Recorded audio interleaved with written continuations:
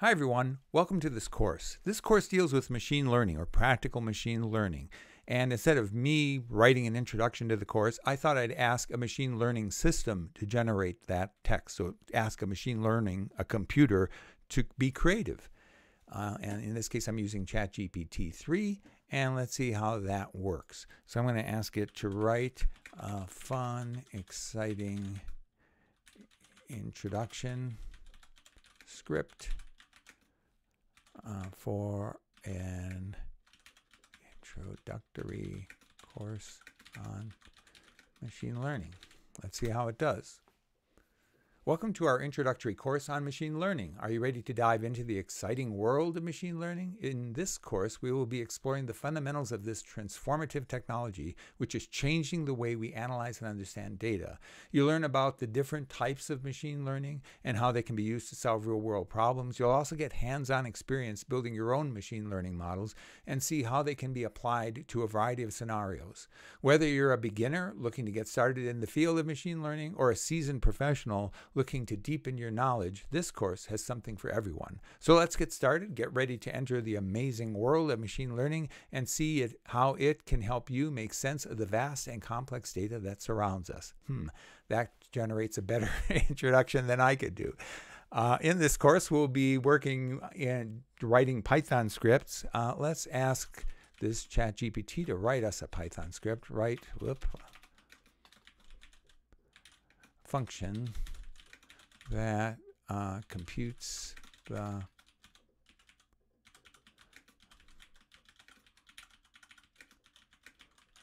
All right, let's see if that works. So now we're asking a program to generate code.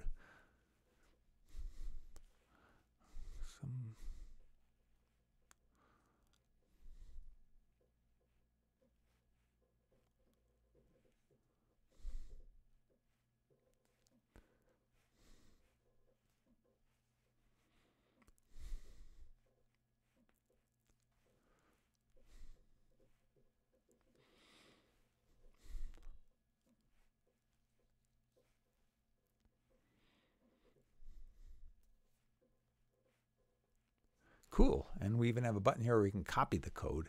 Well, that's pretty interesting. Okay, so this is generative AI. We are asking a program to generate something novel. Let's try it in a different domain. Let's go to DALL-E here. Let me log in. Continue with Google. And this generates pictures. Let me say I want a photo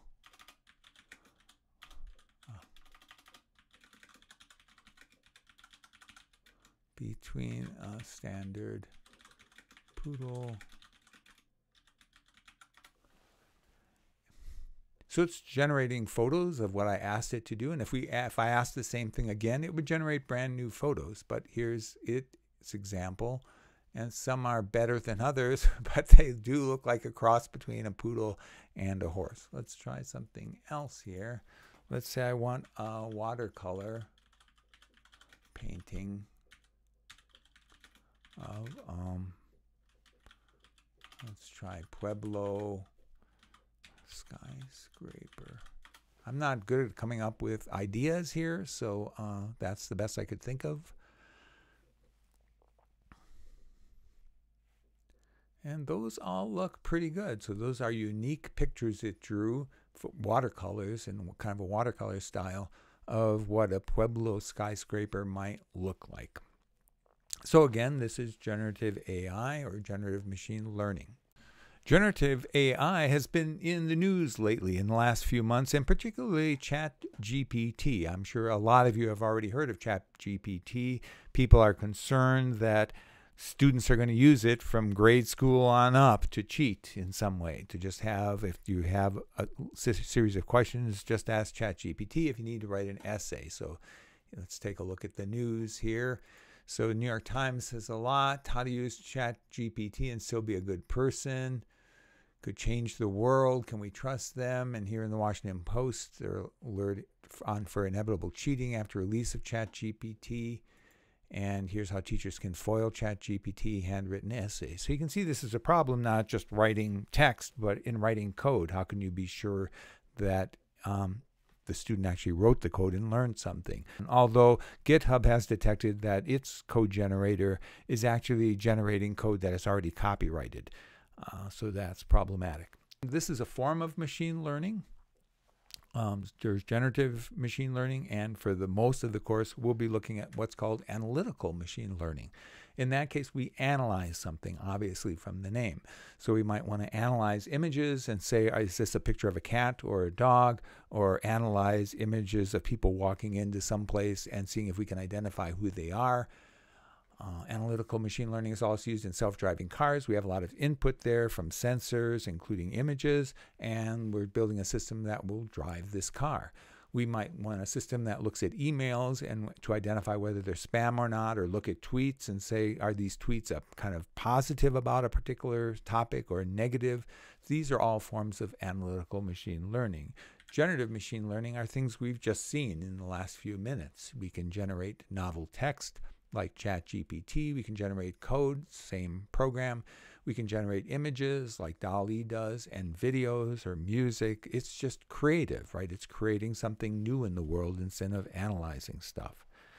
Now, while these systems may sound incredible or magical, if you kind of dive into them, they're just based on simple, well, moderately simple mathematics, right? They're fundamentally having to do with math. And how these systems work is that we have tons and tons of data. We give this system tons and tons of data, and it learns from that data. We might scrape the web for eight years, so we get an entire contents of the web.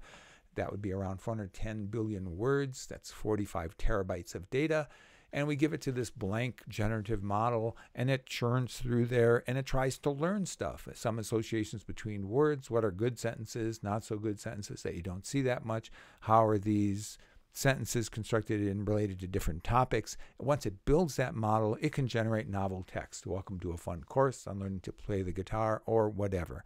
Same thing with generating new images. We give it tons and tons of images. It learns from these images these are pictures of watercolors. These are photo picture photographs that are taken in the real world, and it can generate models of these and generate new ones.